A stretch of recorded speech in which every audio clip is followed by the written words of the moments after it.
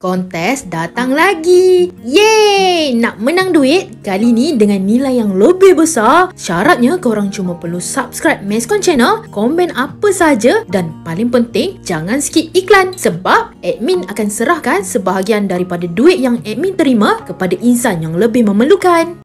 Mahkamah pada Isnin mengarahkan YouTuber masakan sensasi S. Pavitra untuk menghantar surat rasmi bagi menarik balik pertuduhan terhadap suaminya M. Sugu berhubung satu kes pukul. Hakim Mahkamah Seksyen Ipoh, Hakim Nur Asimah Khalid mengeluarkan perintah berkenaan pada sebutan semula kes mendatangkan kecederaan yang dihadapi Sugu terhadap isterinya. Terdahulu, Timbalan Pendakwa Raya Liana Zawani Muhammad Razi memaklumkan kepada mahkamah bahawa Pavitra mahu menarik balik kes berkenaan. Mahkamah kemudian menetapkan 8 September depan sebagai sebutan semula kes. Mengikut pertuduhan, Sugu didakwa mendatangkan kecederaan di bibir, pipi kiri dan lengan kanan Pavitra menggunakan telefon bimbit dan hulu sabit di Pakin Hospital Raja Pemaisuri Bainon di sini antara jam 4 petang hingga 5 petang 21 Julai lalu.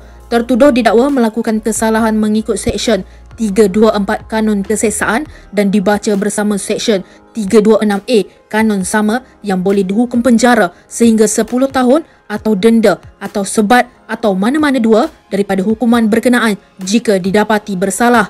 Nur Ashima turut menetapkan 8 September depan sebagai tarikh sebutan semula kes bagi pertuduhan memiliki senjata berbahaya iaitu sebilah sabit berukuran 66 cm bertulis Tiger di parkir HRPB di sini pada jam 6 petang hari sama. Bagi pertuduhan ini, tertuduh didakwa melakukan kesalahan mengikut Seksyen 6 kurungan 1 Akta Bahan-Bahan Kakisan Letupan dan Senjata Berbahaya 1958 yang boleh dihukum penjara tidak kurang 5 tahun dan tidak lebih 10 tahun serta sebatan jika sabit kesalahan. Sugu yang diwakili peguam S. Sundarajan hadir ke mahkamah dengan memakai kemeja kelabu dan berseluar hitam manakala Pavitra turut dilihat berada di perkarangan mahkamah bersama anak bongsunya untuk memberi sokongan terhadap sebutan kes suaminya hari ini.